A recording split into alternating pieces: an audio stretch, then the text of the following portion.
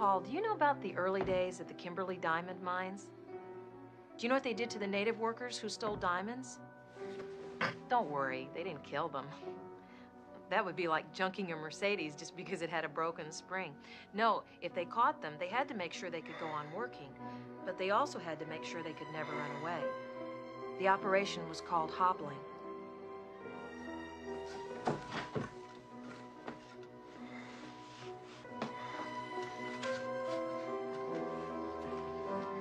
Annie, whatever you're thinking about doing, please don't do it.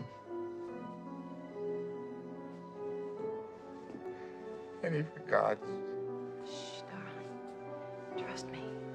God's sake. It's for the best. Annie, please! Almost done.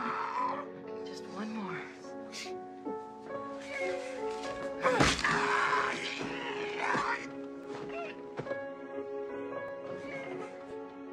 God, I love you.